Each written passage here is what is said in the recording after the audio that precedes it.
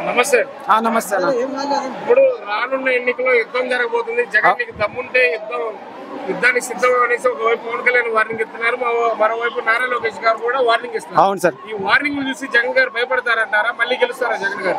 భయం అనే మాట మన జగన్మోహన్ రెడ్డి ఒంట్లోనే లేదు. అతని వంశంలోనే లేదు. వచ్చే జగన్మోహన్ రెడ్డి రెండు వేల ఇరవై నాలుగులో కూడా వచ్చే జగన్మోహన్ రెడ్డి. జై జగన్! జై జగన్! జై జై జగన్! వచ్చే జగ- వచ్చే జగనే.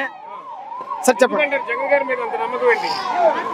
మస్తు చేస్తున్నాడు సార్ మాకి. అమ్మఒడి ఇస్తున్నాడు వసతి దీవెన ఇస్తున్నాడు చదువుకునే వాళ్ళకి ఉపాధి కల్పిస్తున్నాడు పేదవాళ్ళకి ఇండ్లు పట్టాలు ఇస్తున్నాడు.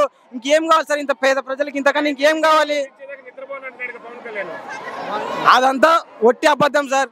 మన మన జనసేన టీడీపీ రెండు వచ్చి కలిసినా మా జగన్ ఏం చేయలేరు.